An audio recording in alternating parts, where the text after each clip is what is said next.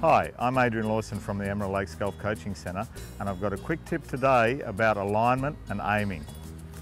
The best place to start for alignment is behind the ball. We need to get a field of view of our intended shot. From here we can look at our intended target line which is our direction we want the ball to take off on.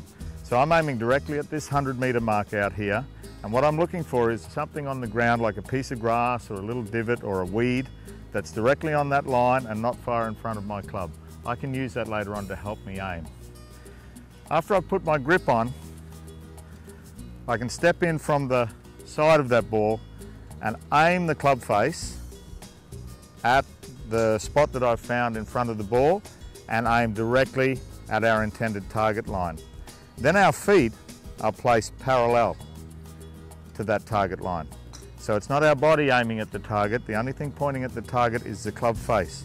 So club face aiming at the target line, feet parallel, and then ball position.